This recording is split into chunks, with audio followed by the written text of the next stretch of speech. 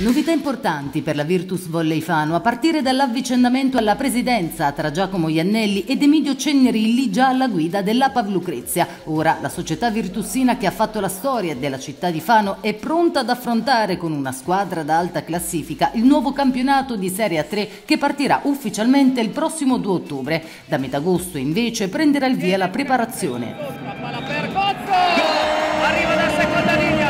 Il mercato è sostanzialmente chiuso, il DS Brunetti come sempre ha fatto un, un eccellente lavoro, eh, abbiamo riconfermato il coach Castellano che eh, tra l'altro ha dire, dato una svolta alla squadra veramente in tempi, in tempi rapidissimi. Abbiamo la sensazione che, che quest'anno ci potremmo divertire tanto al palazzetto. Nel dettaglio chi entra e chi esce? Ma intanto abbiamo riconfermato eh, Nicola Zonta che ha fatto molto bene l'anno scorso soprattutto nella, nella seconda parte del, del campionato, eh, abbiamo riconfermato Gozzo, eh, c'è un ritorno graditissimo che è lo schiacciatore Stefano Ferri, un giovane eh, di, di, di, grandi, di grandi prospettive. E un acquisto importante, il bomber, abbiamo, abbiamo preso, abbiamo portato a Fano Christoph Marx che è stato in passato il miglior realizzatore in Serie 2, quindi ci aspettiamo davvero tantissimi punti.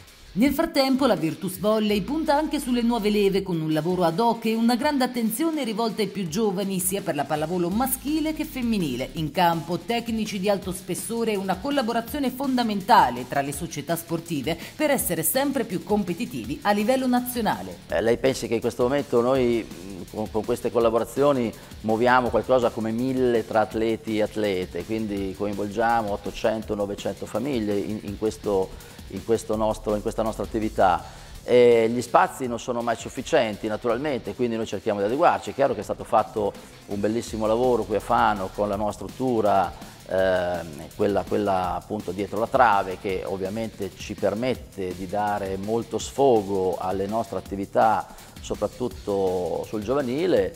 Il, il, palazzetto, che è il nostro contenitore delle, della, della, prima squadra, eh, comincia a, a, sentire un pochino no, il problema dell'età, eh, pur essendo assolutamente adeguato in questo momento alle circostanze, è chiaro che Fano secondo me merita eh, un palazzetto adeguato perché potrebbe diventare veramente la casa del, del, volley e questa è la città del volley. C'è un messaggio, un appello che vuole lanciare eh, agli appassionati di pallavolo? Ma eh, intanto l'obiettivo è di riempire il palazzetto sempre, questo per noi diventa fondamentale, si crea entusiasmo, si crea entusiasmo attorno alla squadra, si crea entusiasmo attorno a coloro che magari possono aiutare la squadra a diventare sempre più, più forte e strutturata eh, e quindi parlo delle aziende, parlo, parlo del territorio sostanzialmente. Eh, noi ce la metteremo tutta eh, dal punto di vista tecnico organizzativo per cercare di essere sempre competitivi. Eh, chiediamo davvero un, un, grande, un, grande, supporto, un grande supporto fin dal giorno 1 perché, perché ripeto, quest'anno possiamo divertirci tanto e, e questo porterà poi conseguentemente ad un vantaggio a tutto il movimento.